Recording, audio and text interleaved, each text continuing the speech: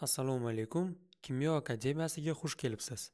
Birinchi darsimiz kimyo qanday fan deb nomlanadi.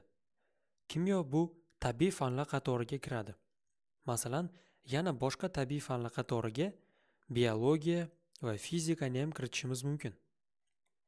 Demak, kimyo, biologiya va fizika. Bular demak tabiiy fanlar hisoblanadi. Tabiiy fan nima degani? Tabiatni o'rganuvchi fanlar tabiiy fanlar deyiladi. Tabiatdagi moddalarni kimyo fani o'rganadi. Tabiatdagi tirik jonzotlarni biologiya fani demak o'rganadi.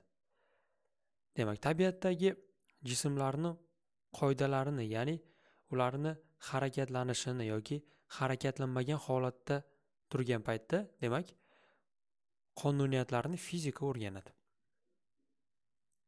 U xoh tirik e, jonzot bo'lsin, xoh notirik jismlar bo'lsin, farqi yo'q. Ularni demak qonuniyatlarini o'rganadi. Kimyo fani bu moddalarni o'rganadigan fan hisoblanadi. Moddalar, moddalarning xossalari, demak, moddalarning xossalari va ularning bir-biriga aylanishini o'rganadi. Bir-biriga aylanishini o'rganadi. Masalan,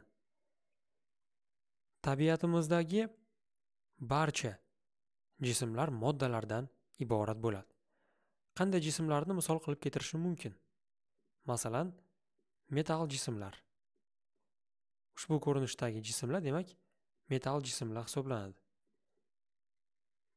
Masalan, yana boshqa jismlar bo'lishi mumkin, plastik jismlar. Ya'ni plastik moddalar. Bugungi kunda demak ko'p uchratamiz bu plastik moddalarni yoki bo'lmasa yog'och jismlar. Yog'och jismlarni ham demak qadimda ham, hozir ham demak juda ham ko'p ishlatamiz va uchratamiz. Va bundan tashqari yana turli xildagi jismlarni biz tabiatda bilamiz va uchratamiz. Bularni barchasi moddalardan iborat bo'ladi. Moddalardan tashkil topgan bo'ladi. Mana shu moddalarni xossalarini, xossalari deganda ularni xususiyatlari, masalan, metallarni qattiqligini bilamiz, plastiklarni metaldan ko'ra yumshoqligini bilamiz. Yoki bo'lmasa yog'ochni. Yog'ochni masalan aytaylik, sindirib bo'lishligini bilamiz.